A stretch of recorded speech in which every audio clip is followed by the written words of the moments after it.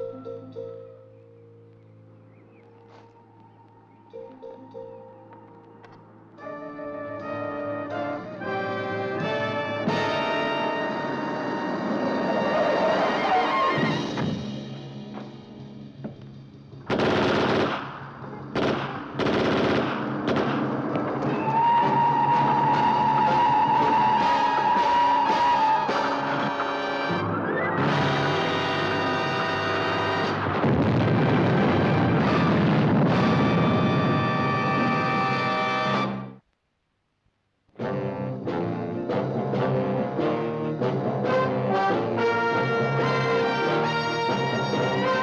Every government has its Secret Service branch.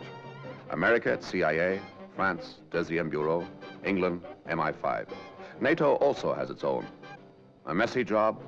Well, that's when they usually call on me or someone like me. Oh, yes. My name is Drake. John Drake.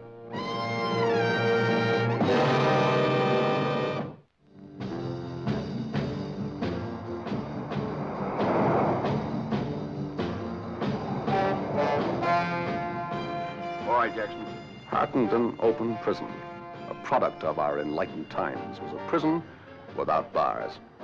The man I wanted to see there was a prisoner called Michael Leoman. Now, he was an Irish American who, seven years before, had been found guilty of a violent bomb outrage in South London. True, his actions were motivated by deeply felt political beliefs, but that could not excuse the violence of the crime. Now his prison term was up.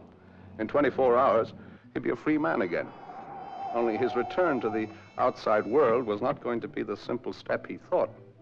I stood in his way. Morning. Hello. Will the governor be a friend of yours? Well, not exactly. I just happened to get a lift in his car. My name is Drake, John Drake. Uh, well, I guess you know who I am. Yes, I do indeed. They tell me that uh, you've been here longer than anyone else. Yeah, nearly five years. You might say Tim Brannigan and myself were the original guinea pigs. We were at Dartmoor before that. Tim Brannigan? Yeah, fellow rebel. Finished his time a couple of years ago. They weren't sure of the place would work until they tried it on us. Does it? Yeah, I guess so. Yeah, sure it does. See, it uh, doesn't bother you to talk about it. No, it might have done once, but not now. You can do a lot of thinking in seven years. It Took a long time getting through to me, but now I know. No doubts about it? No. Well, the slate's clean. I, uh, I hear you're going to work in Scotland. Yeah, the Western Highlands. An Irish American working for the Scottish Laird. That's quite a combination, isn't it? And might I be permitted to ask who you are? Yes, of course. Well, among other things, I'm, uh, I'm an Irish American. That's one reason why they sent me. Well, if it's bad news, let's have it. If I were you, Mr. Learmond, I'd forget about that job. Forget it. Do you think jobs like that are bedded out like these young shoots? Here, look, I hooked that job myself. Sure the job didn't hook you? Come again? As I understand it, Mr. Learmond, the government gave you permission to advertise for a post in forestry. Is that correct? Yeah, well, which I'm now qualified. Now, you got only one reply from a Mr. Robert Crawford, who lives in the Western Highlands of Scotland. Oh, well, If so- you take that job with Crawford, I think you'll find yourself sooner than you think back in the same situation that got you in here in the first place. You've got something on Crawford, then? Yes, something, but not enough. Now, I want to go to Crawford's in your place with your name and background, past and present. And the only way I can put on a convincing show is to know everything about you, and the only one who can tell me is you. Where does that leave me? Oh, we'll pay for the privilege. Pay me? Yes, not in money. Another job. One that's really worthwhile. How about it? Well, something tells me I'd be a fool to take any chances. I'll go along with you. You will? Hmm. I'm obliged, Mr. Lehman. Next morning, I was aboard the Flying Scotsman, racing across the Firth of Forth.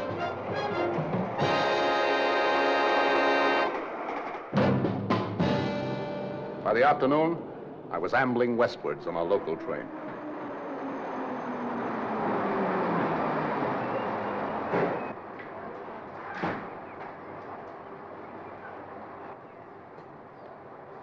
Thank you very much.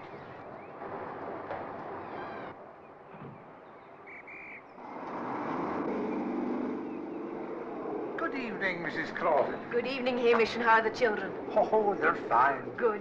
Is my car here yet? No, not yet. Excuse me, would you, uh, are you Mrs. Crawford of Lochdoon? Oh, why, yes. Oh, I'm Learman. Oh, how do you do? Your new forestry man. How nice. Didn't your husband tell you about me? I've been away. I migrate in the winter. I only wish I could persuade my husband to do the same. Oh, I see.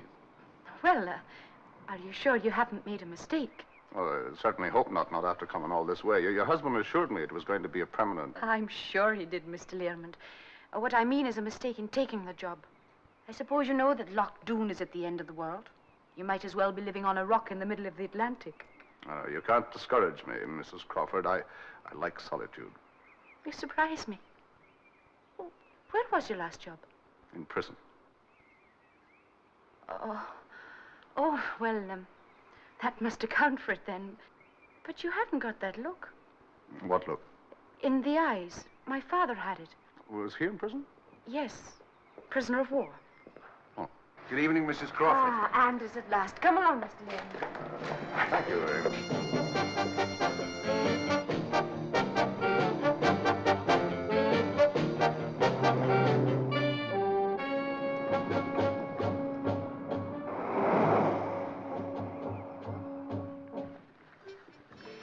Must apologize for my husband. When did you last see Mr. Crawford, Neil? At six o'clock this morning, madam, when he left for Rannoch Point. Oh. I'm thinking of suing for divorce, Mr. Lemond, and naming Rannoch Point as correspondent. Oh, and how did a headland come to steal your husband's affections, Mrs. Crawford? How, you might well ask. It's a bird sanctuary. Stole my father from me, too. Days I was made to spend up to my waist in a marsh, trailing after him, capturing enthralling pictures of the mating display of the crested grebe. But I won in the end. I caught pneumonia in an east wind. Touching and pathetic picture. I thought I'd finished with the place, but how cruelly my husband deceived me. When I first met him in Dublin, he was such a nice, comforting man. He didn't know an owl from an oyster catcher. And then one summer I brought him up here. He came home very late one evening. I found a most wonderful place, he said. Rannoch Point. The birds, they're marvelous. Are you a bird watcher, Mr. Lemond? No, I haven't had many opportunities in the last seven years, Mrs. Crawford. Well, then stay away from Rannoch Point. If I ever see it again, it'll be too soon for me. Evening, Neil. Mr. Lehman show up? Oh, yes, sir, he showed up. We kept your dinner on the hot Oh, don't bother. I'll help myself. Cappy, it's great to have you home again. Robert, I'm sorry I didn't get to the station. that would be too much to expect. Oh, Robert, this is Mr. Learmond. How do you do, Mr. Crawford? How do you do? There are a pair of white-tailed sea eagles nesting on the bluff. They're the first in this part of the world for 50 years. The eggs were hatching. I couldn't leave the hide, but we got some great pictures. I'll be fascinated to see them. I think I'll be running along now. If Neil could show me to the cottage, what time would you like to see me in the morning, ah, Mr. You'll Crawford? do nothing of the kind. Your first night out of prison, sleeping in a damp cottage all by yourself. You're staying here. You're very kind, Mrs. Crawford. Well, I've had a long day. I'm off to bed. Now, don't be late. Good night, Mr. Learmond. Good night, Mrs. Crawford. Mind pouring me a drink, Learmond? And now tell me about yourself. Oh, I thought we covered all that in our correspondence. When you've been around as much as I have, you find you can't put too much trust in the written word. Action. There's truth in action. When a man hits you in the teeth with his bare fist, you know you've been hit. You know where I've been, Mr. Crawford. I've been in prison, studying forestry. Clever people, the English. Uh, What meaning what? Teach a man a trade, but while you train him, let him know who's master. If he does any thinking, make sure it's the right kind. Did you do any thinking in there? Quite a bit. Your kind are theirs. Look, Mr. Crawford, seven years ago I killed a man. That's why I was inside. But now I'm out. The slate's clean. What I think and how I think is my business and nobody else's. I'm surprised you can take it lying down. Disgusted might be a better word. You're trying to provoke me, Mr. Crawford. Since when could anyone provoke a tame Mick? Something the English have let out because they've removed the sting, because it's harmless. Yes, disgusted is the word right enough. I thought the Irish had guts. I was wrong. The English can break anyone in time. Anytime you want to put that to the test, Mr. Crawford. Against two in particular. You name it. Against them, perhaps? Look, I said you name it. I took everything they handed out for seven years because I had no option. But not even a tame Mick crosses off seven years of his life without making one promise to himself, if you know what I'm talking about. You've made your point. Let me make it even clearer, Mr. Crawford. The first chance I get, I'm putting one man under for every month I spent in that I place. said you've made your point. Relax, Lehman. You're among friends now, better than you know. What do you mean? Pour us both a large whiskey. We've got something to celebrate. Huh? Maybe you have. I said we. We found Tim Brannigan. Your old pal from Hartington. Brannigan? The old team, Lehman. You and Brannigan. He's expected here tomorrow. Quite a surprise, isn't it? But then that's the way I do things. Oh, that's great. That's just great. You couldn't have given me a bigger surprise. String to it.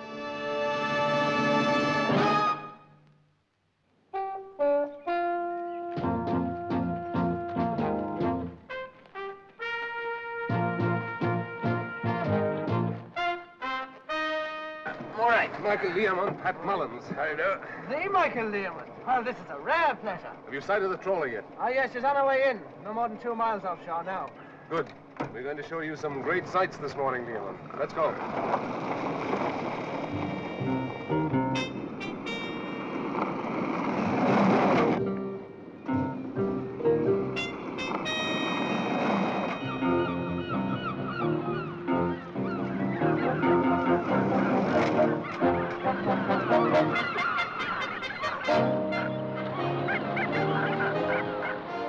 The Bird Sanctuary. Kathy Crawford's hated rival.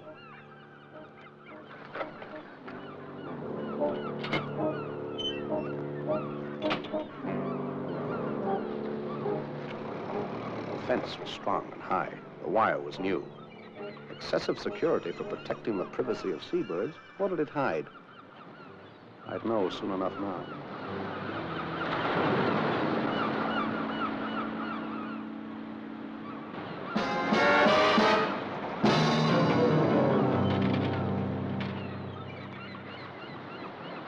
What do you see out there?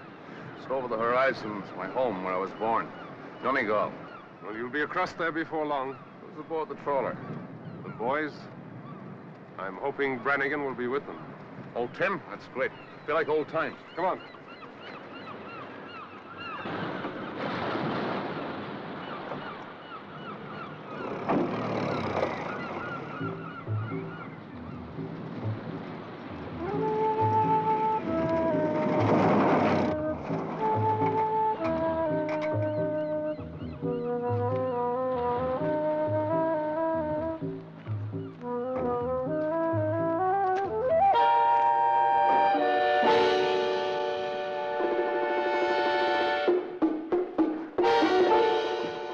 Installed this place during the war.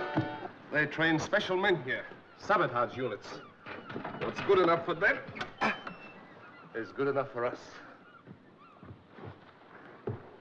Now then, isn't that a rare and beautiful sight? Oh, boy, oh boy. Sheer poetry. And there's so much of it, too. Must have cost a fortune. I married a very rich woman, Leomund. She know about this? Not on your life. And as luck would have it, she's not interested in managing her money, just spending it. So I look after the family fortune. Oh, a very nice job you're making of it, too, Robert, my lad.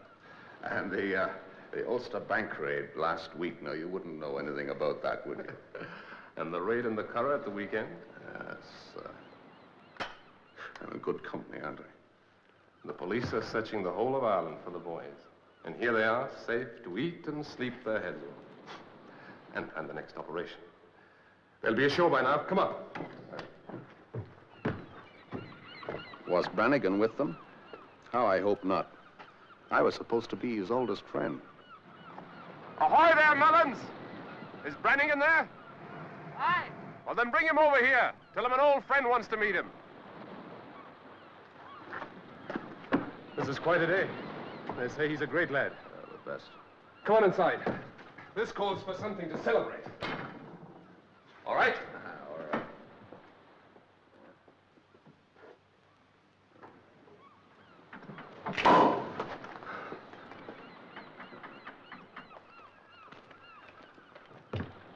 Tim Brannigan, sir.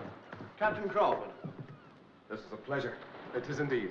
And who have we here? Your old pal. You're not Tim Brannigan. What? What's going on here? Who are you? I'm Tim Brannigan, right enough. Let's have a look inside here. It might tell us who you really are. Mullins, the door. I'm Tim Brannigan, I tell you. And if you don't believe me, ask the boys in the boat who I am. They know me. But who's this one? That's what I like.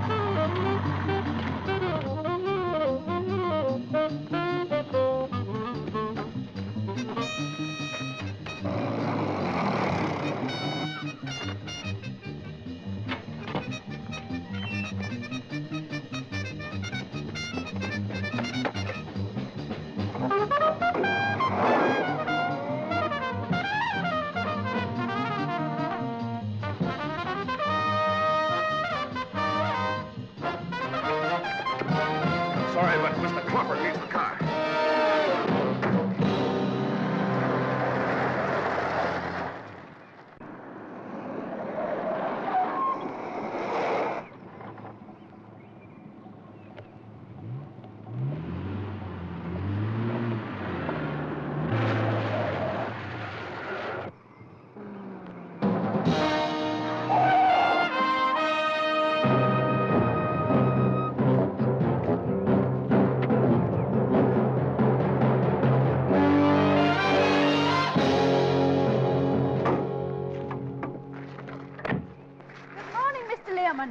Mrs. Crawford. Would you give me a hand with these, please? Yes, of course. We're Miss- just in time for lunch. Robert, you're back soon. Mr. Learmont is coming to lunch. Oh, that's fine. I didn't want him running off just yet. running off? Where on earth would he go running to, poor man? I do hope you like the cottage. As a matter of fact, I haven't had a chance to see it yet. Mr. Crawford took me down to Rannoch Point. Oh, have you enslaved to Rannoch Point now? I find it uh, quite fascinating. Brannigan, you stay here. There. Well, why don't you help yourself to a drink, Mr. Learmont? I won't be a minute. Thank you very much,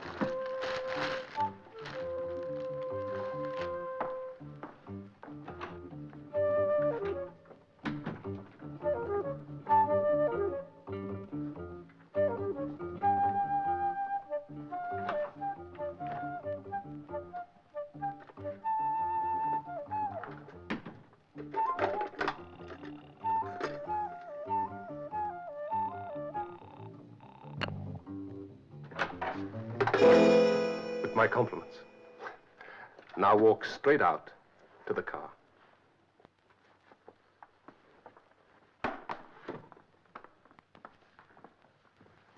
Shall we go? Oh, you're not going out now. Come along, lunch is ready. I just want to show Oh, something. that's all right, Mr. Crawford. It can wait. Shall we eat? That sea air is giving me an appetite. Yeah. What is it for lunch?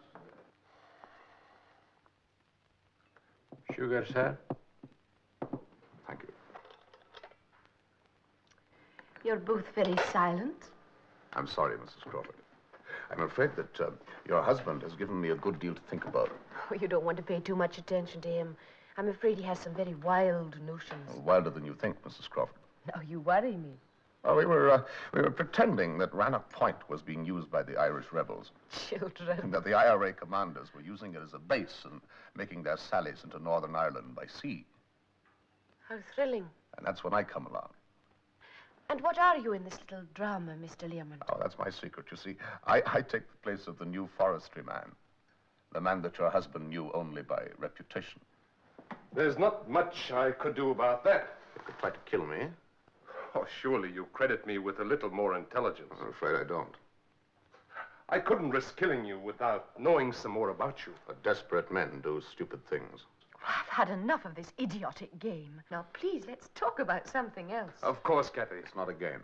I don't believe you. Would you. you like to put it to the test?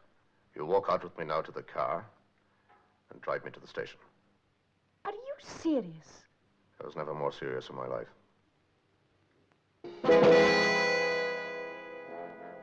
All right, Mr. Learmont. Come on.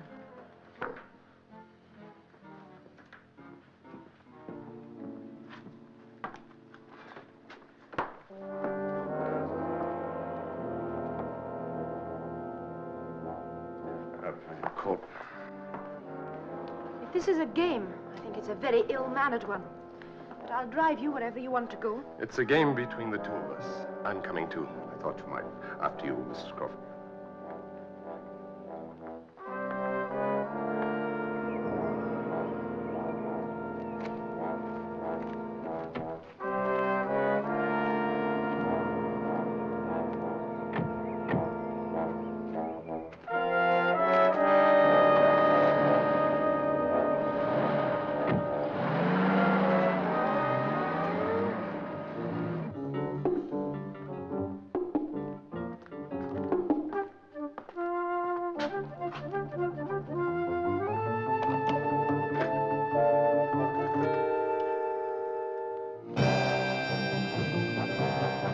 Wasn't the strangest ride I'd ever taken, but it had its own macabre aspect. I was on my way to put a rope around Crawford's neck, and he was helping me to do it. There was a catch somewhere. There had to be.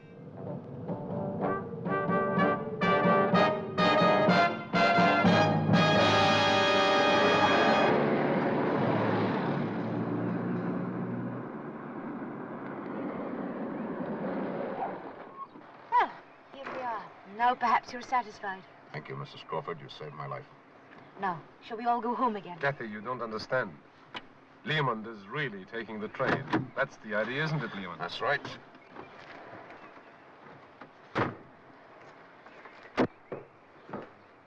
Now, look here, Leomond. Aren't you making a mistake rushing off like this?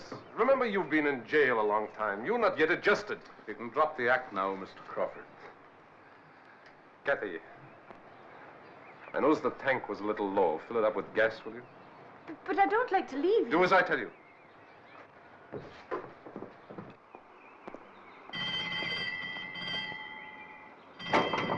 Is That the up train? Eh, no, Mr. Crawford. That'll be the express. Thank you.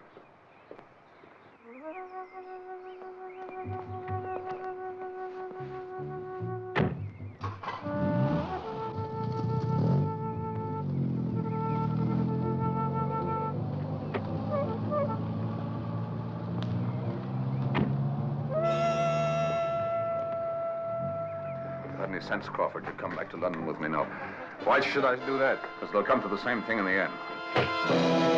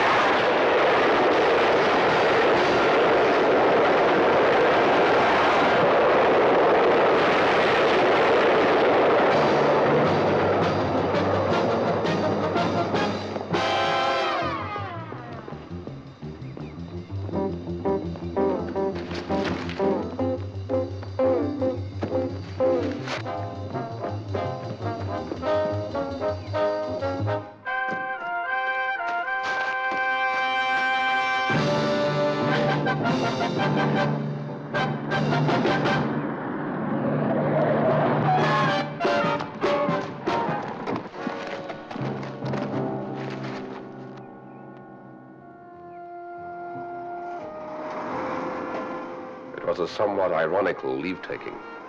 There was a smile on her lips, but not in her eyes.